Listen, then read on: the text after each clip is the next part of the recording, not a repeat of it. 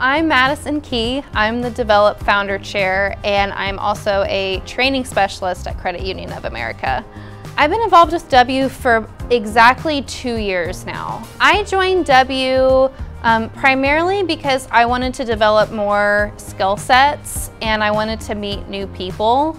I believe I applied for Leadership Academy first, and it was at the same time that group mentoring was started. And at the end of each of those programs, they asked if I wanted to help assist for the future year. And so I was like, I want to do that. Since then, I have joined Develop. I did a couple meetings and they were like, do you want to apply to be the chair for Develop? And I said, of course, it sounds something right up my alley. And so we've been doing that for the last six months now. The most impactful thing for me is getting to know other people's stories. I think as a young professional and someone that's like me, I compare myself to others quite a bit and there are a lot of other people that are in that same spot. So listening to their stories is just really inspiring.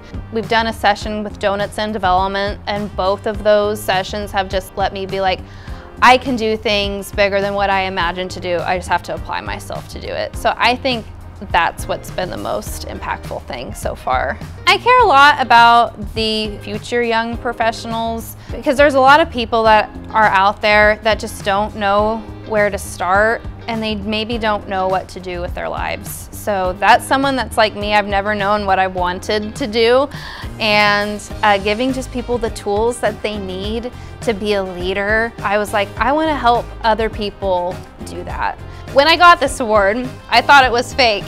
Um, I was like, is this real? So the fact that someone thought of me and said, hey, she's doing a good job, as someone who just considers herself just trying to be a volunteer through W, especially because there are so many people that I know bust their behinds off all the time and to make this a really good program and so that someone thought of me to do that, I think it means a lot. I was having a conversation with Alyssa York and I told her, I said, your video made me inspired to get off my butt and to start volunteering.